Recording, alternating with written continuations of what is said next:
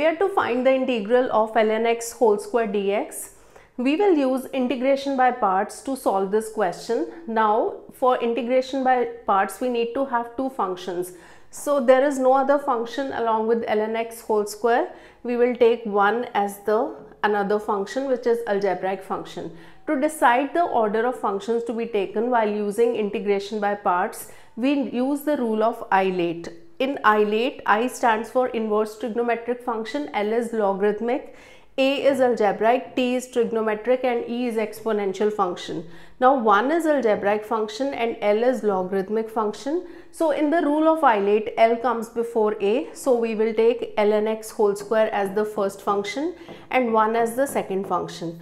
Now to apply integration by parts, we use product of two functions. So this is first function into integral of second function minus integral derivative of first function into integral of second function clubbed together and we take their integral. Now our first function is ln x whole square only. So our integration becomes ln x whole square into integral of second function. Second function is x and its integral is uh, second function is 1 and its integral is x minus integral derivative of first function.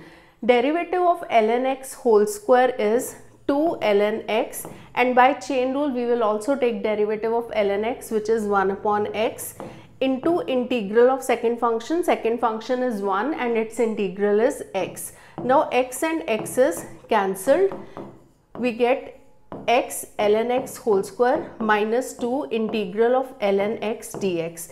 Now let us do this part again by integration by parts again using integration by parts for that we will take ln x as the first function and 1 as the second function and let us apply the formula again there is 2 outside the bracket. So first function as it is into integral of second function which is x integral of 1 is x minus integral derivative of first function derivative of first function is 1 upon x into integral of second function which is x x and x is cancelled so we get x ln x whole square minus 2 in the bracket we have x ln x minus integral of dx is x only plus c. When we open the bracket, we get our final answer as x ln x whole square minus 2x ln x plus 2x plus